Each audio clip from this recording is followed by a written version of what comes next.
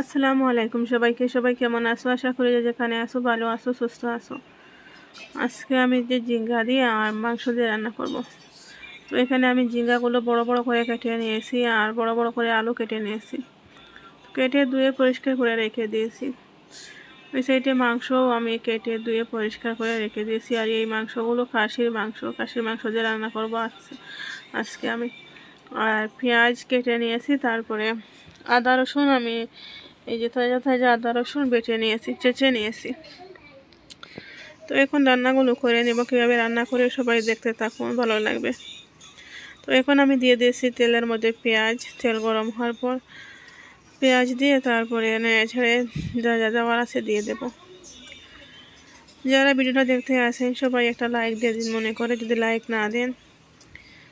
যদি ভালো লাগে তাহলে সাবস্ক্রাইব করে নেবেন আমার চ্যানেলটা এখানে আমি লবণ দিয়ে দিয়েছি, তারপরে এই যে আদা রসুন শেষে দিয়েছি, আর আগের একটু ছিল ওইগুলো দিয়ে দিয়েছি আমি।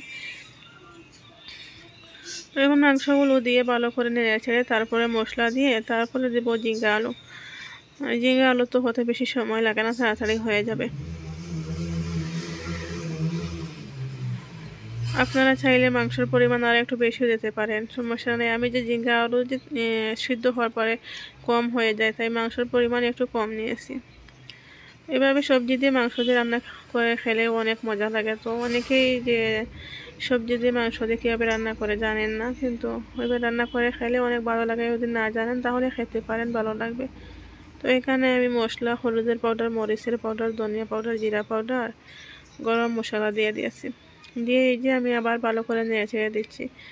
তো ভালো করে কষিয়ে কষিয়ে রান্না করলে রান্নাটা একটু মজা হয়, ভালো লাগে খেতে তো এখন আমি সবজিগুলো দিয়ে দেবো। সবজিগুলো দিয়ে পানি দেবো না, কারণ জিঙ্গা যখন সফট হবে তখন জিঙ্গা থেকে অনেক পানি বের হবে, তাই আমি পানি দেব না। নেড়ে ছেড়ে লবণ দিয়েছি, আর ডাকনা দিয়ে ডেকে রেখে দেবো। লবণ আমি কম কম করে একটু একটু দিচ্ছি, পরে যদি না বরাবর না হয় তাহলে পরে আবার দিয়ে দেব। তো এখন আমি ডাকনা দিয়ে ডেকে রেখে দেবো। তো এখন বেশি নাড়া যাচ্ছে না। এই যে ডাকনা ভালো করে ডাকছে না, কারণ সবজিগুলো সিদ্ধ হয়নি, তাই একটু বেশি দেখাচ্ছে। সিদ্ধ হওয়ার পরে এই যে অনেক পানি বের হয়েছে, একটু সফট হয়েছে। তো আবারও ডাকনা দিয়ে ডেকে রেখে দেবো, পানি দেব না আমি। তো সবজির পানিতে সবজিগুলো আগে সিদ্ধ করে নেব, তারপর পানি দেওয়া লাগলে দেব। তো এই যে দেখো, আমার সবজিগুলোতে আমি একটু পানি দিয়েছিলাম, ওই ভিডিওটা স্কিপ হয়ে গিয়েছে, জানি না কীভাবে হলো। তো সবজি ফিফটি পারসেন্ট হয়ে গেছে, আমি আরেকবার দিয়ে রেখে রেখে দিলে হয়ে যাবে। এই যে আমার জিঙ্গা রান্নাটা হয়ে গেছে, এখন আমি ধনিয়া পাতা দিয়ে গ্যাসটা বন্ধ করে নেব। অনেক মজা হয়েছিল খেতে, অনেক ভালো হয়েছিল। আপনারা যারা খান না, এইভাবে খেয়ে দেখতে পারেন, ভালো লাগবে। আর যদি ভালো লাগে, তাহলে আমার চ্যানেলটা সাবস্ক্রাইব করে আর ভিডিওতে একটা লাইক দিয়ে দেবেন।